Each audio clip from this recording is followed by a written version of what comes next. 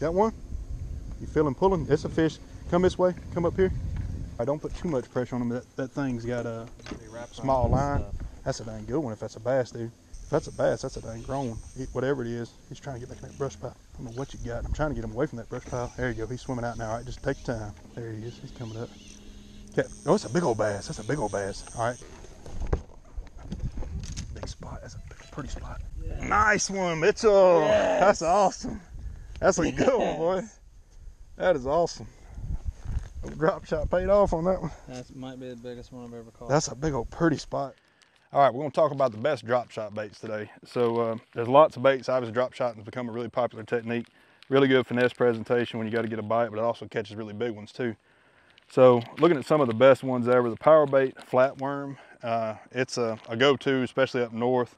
Got matte black finishes. It's got the uh, the Maxscent power bait formula. Says 45% more fish catch. It's probably true. They hold on a lot longer. They've got a lot of scientific studies showing that. So that's a really neat bait for drop shotting, especially up north uh, on the smallmouth fisheries where they're eating predominantly smaller bait, goby and those kinds of things.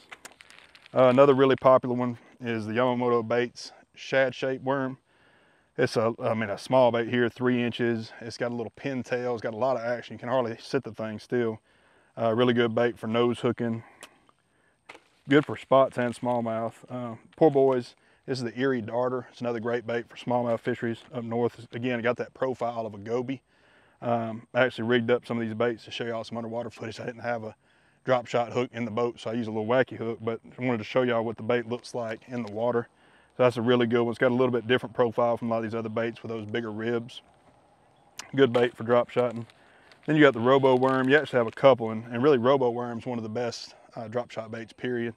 So you got the fat straight tail, and that's really good for drop shotting with a uh, kind of Texas rig situation where you do it weedless. So it's a little bit more meat to the bait, and uh, it's good bait for drop shotting and brush when you need it to be weedless.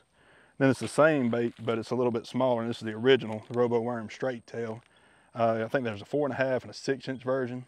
It's another fantastic drop shot bait, probably the best drop shot bait ever. Uh, Aaron Martens greatest finesse fisherman ever to live. He really made this bait super popular worldwide. And then Xzone, uh, Brandon Palaniuk, another angler of the year, as is Aaron Martens. Brandon Palaniuk's won twice, but this is one of his baits. It's Xzone. This is the finesse slammer, and uh, it's a nice little goby size bait as well. Got that same profile, but this bait actually comes with a tray. So one of the big things with drop shot baits is a super visual technique a lot of times. So you want baits to stay in really good shape, really straight. You don't want a bunch of kinks in your baits. So that's one neat feature here that really sets this bait apart from a lot of the others is this tray package that goes inside the Ziploc. So those are some of the best, probably the best drop shot baits, period, across the board. At least four of them will be in the top five of every angler. So if you need to know what to buy for drop shots, these are some great ones. Right here in front of me is a brush pile. Can you see it about, about to stick out of the water?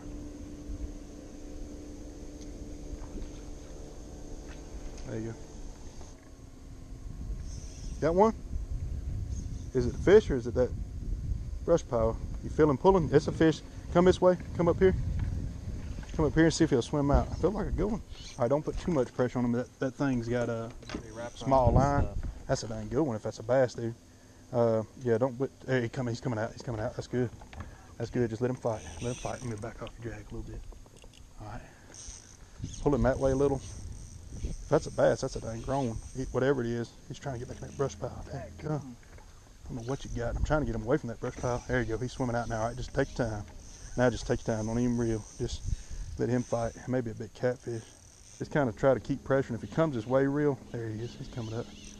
Cat. Oh, it's a big old bass. That's a big old bass. All right, be real easy. Mm. Big spot. That's a pretty spot. Nice one, Mitchell. That's awesome. That's a good one, boy. That is awesome. Drop shot paid off on that one. That might be the biggest one I've ever caught. That's a big old pretty spot. That would win big spot nine times out of ten. It's a three pounder. All right, Mitchell got him a big one here. Time to turn her loose. Go pretty spot. be. Nice.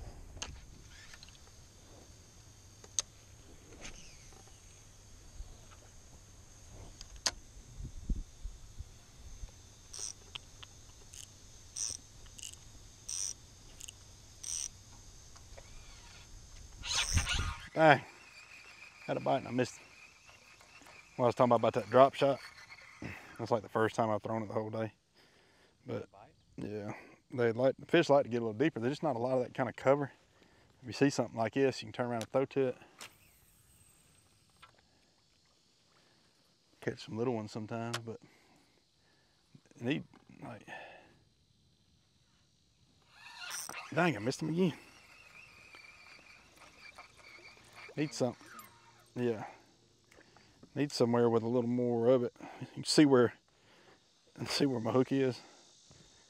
Look where his teeth are getting. Oh my gosh. Right behind the hook. Ain't probably ain't about eight inch little spot. Bang! Come off again. I think he's just holding the worm. I ain't got a hook in him yet. Watch what, what I'm gonna do though. About to show him a trick. Six inch worm, four inch worm. If he bites the same amount he's been biting, he's dead.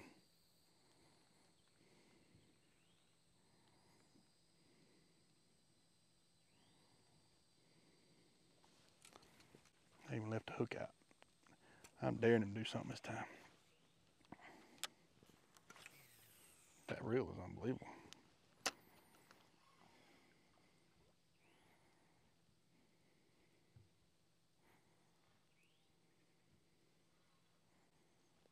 It's like he knows.